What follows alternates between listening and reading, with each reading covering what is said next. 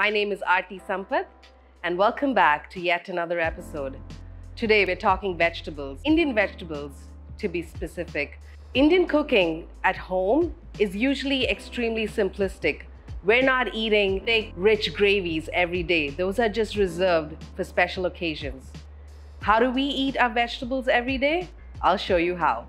Our first vegetable is gawar beans. Uh, they're also called cluster beans, the way they grow. Pretty much you can cook them like green beans or French beans, but I'll show you how we cook them at home. To get started, heat a pan to medium heat. We like using peanut oil, but you can use any neutral vegetable oil, about two tablespoons. And I have some whole cumin seeds that I'm going to uh, splutter in this oil. Cumin seeds, they, they taste super nice and have this beautiful aroma that only gets released when you either dry roast them or you cook them in some hot oil or ghee. To start off our gawar beans, we'll start off by heating some oil. I'm using virgin coconut oil here, but you could use also use a neutral oil. I'm about to sputter some mustard seeds. Once mustard seeds turn slightly pale in the oil, you know you're ready for the next ingredient. South Indians love using a little bit of gram or lentil. So I'm using urad lentils here, just about a tablespoon. And we just allow it to cook for a minute until it gets nutty and brown. This acts like the crunch element to the beans. Once we're done with that, we have a red chili that I'll just crack in. Now you see all those uh, seeds just sputter, so just watch out. Once I added my chili, there in go my beans. Lower down the heat.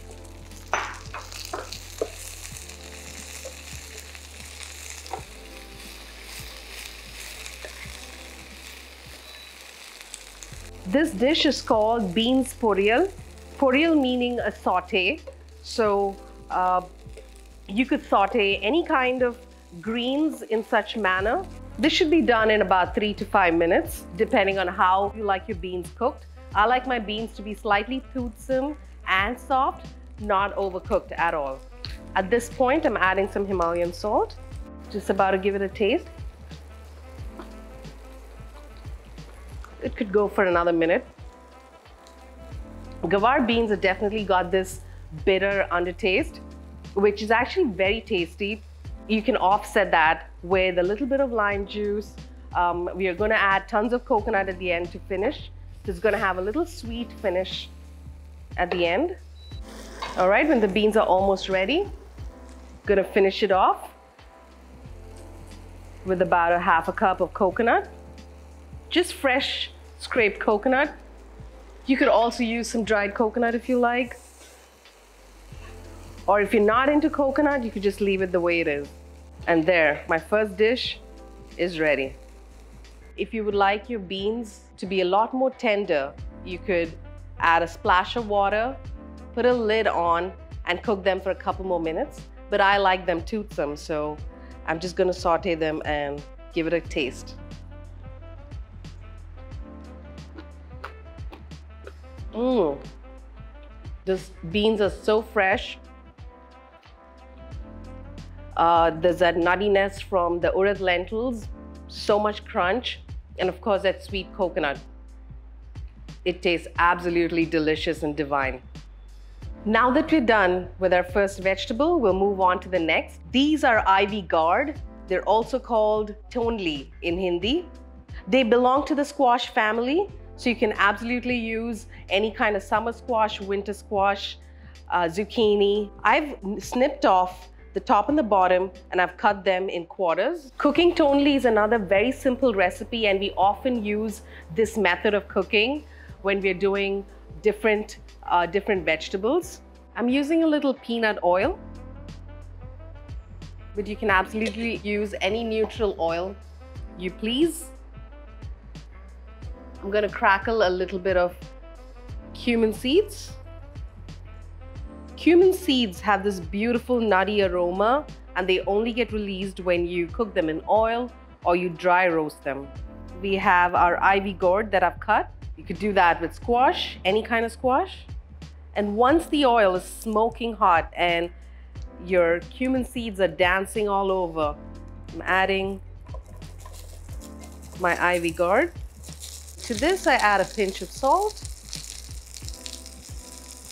And now for some of my favorite ingredients, I'm adding turmeric powder right on top, a little chili powder. Here I'm using Kashmiri chili. It's got a lot of heat as well as color. Cumin powder that I roasted and ground, and the same with coriander powder. I'm just about to use a splash of water to deglaze all those spices that have stuck to the bottom of the pan. Then you can cover with a lid and just let it steam for like a couple of minutes. And we'll come back and revisit this in about three minutes and see if it's tender. Let's check on our ivy gourd. Just gonna add a squeeze of lemon. And I'm also using a little cilantro. And now our tondli is ready to eat with chapatis or you can definitely eat them with some rice. This is one of my favorite vegetables. I can't wait to dig in. Mmm. Still got a little crunch. It's definitely a reminder of zucchini. Uh, I love the, the little lemon at the end and all those spices shine. I can get little nuggets of cumin. It just tastes so divine. And that freshness from cilantro, mm, I'm gonna polish all this off.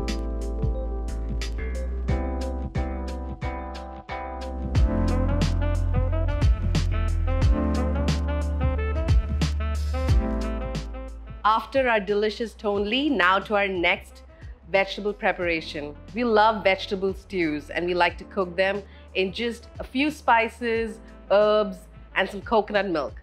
So for that, we have sweet potatoes and we have eggplant that I'm going to cook. Our sweet potatoes are very different from orange sweet potatoes. They're sort of that Japanese sweet potato. They're sweet, they have a lot of fiber, so they keep you full. They're firm in texture. I really, really enjoy these. And they're even better when they're stewed. So let's get started. To get started, we have some virgin coconut oil, but you can use any neutral oil. To that, we add a few mustard seeds and we allow it to crackle. We have a few shallots that I've just cut in half. And then we like to add an entire sprig of curry leaf. And then the sweet potatoes that I diced and had them in oil go right in here. You just allow it to sear a little. We like just sear the potatoes slightly. And just season as we go. So I'm adding a pinch of salt right here. We're just allowing the potatoes to sear slightly at the bottom so there's a little bit of color and that increases the flavor. Right at this point, I'm also adding a slit green chili. You could also dice them if you want more heat, but this is a very mellow gravy. And what I also like to add, this is a little tip that I got when I traveled to Sri Lanka. I, am using a little bit of lemongrass, and I have one smashed stalk of lemongrass that I'm adding in as well. Or you can see there's like, the potatoes are getting a little color.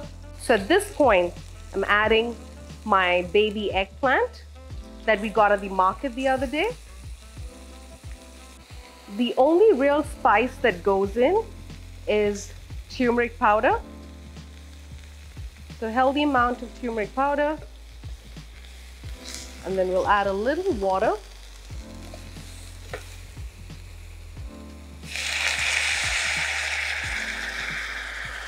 You did notice, all of our dishes are vegan.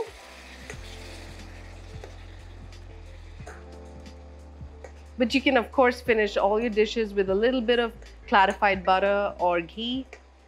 So at this point, I'm adding some fresh chopped ginger.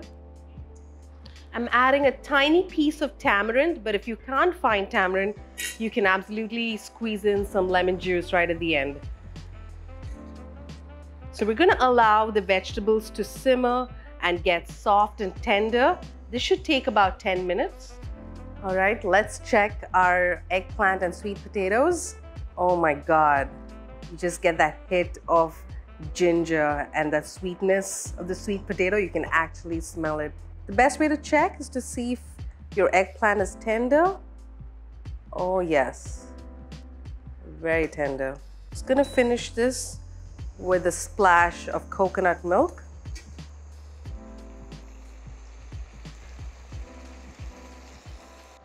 Allow it to simmer for a minute.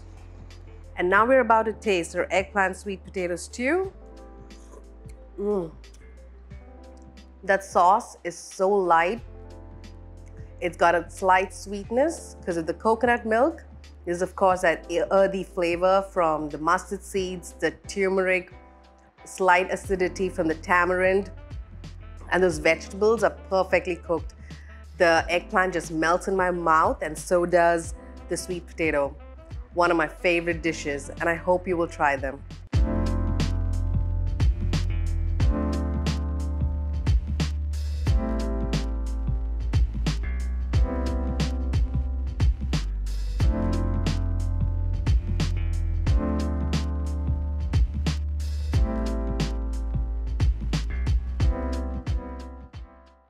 Hope you liked today's video. I hope you enjoyed how we cook our vegetables.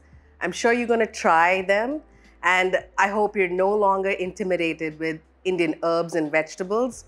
We'll see you back in the next video. And if you like my video, please, please, please like and subscribe to Chef Aarthi Sampath. Thank you.